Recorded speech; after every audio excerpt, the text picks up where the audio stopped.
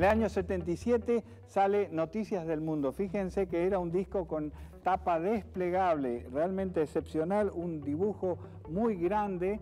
Era un tema que volvía con las eh, preocupaciones de Brian May en el sentido de sus eh, seres eh, extraterrestres que atacan a la humanidad de alguna manera. Los dibujos excepcionales mostraban eso pero los temas, los temas que sí se hicieron conocidos son probablemente los que ustedes también conocen y muy bien.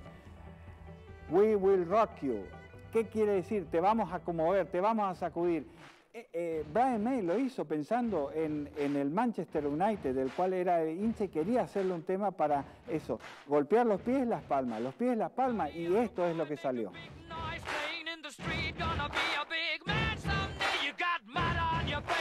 You big disgrace, kicking your can all over the place, singing, We will, we will rock you. We will, we will rock you.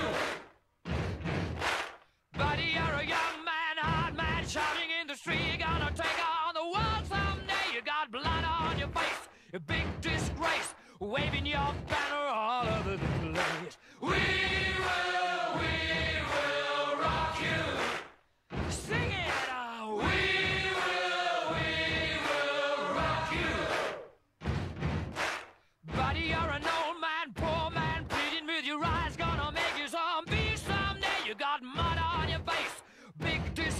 Somebody better put your bag into your place. We will, we will rock you. Sing it. We will, we will rock you.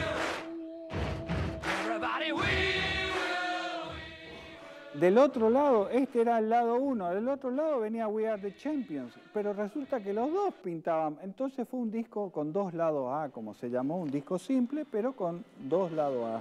Esto, esto trajo We Are the Champion, un, sentido de éxito absoluto y logrado. ¿Por qué? Porque es la canción más pegadiza del mundo. ¿Por qué? Porque We Are the Champion fue elegida por 700.000 personas en 66 países como la mejor canción de todos los tiempos.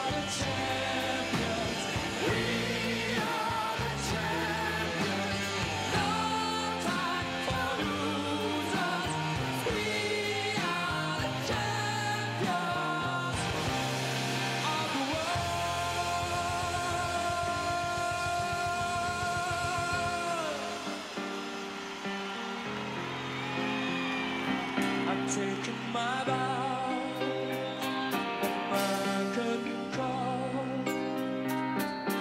You brought me fame and fortune and everything goes. Well then, I thank you all, but it's been.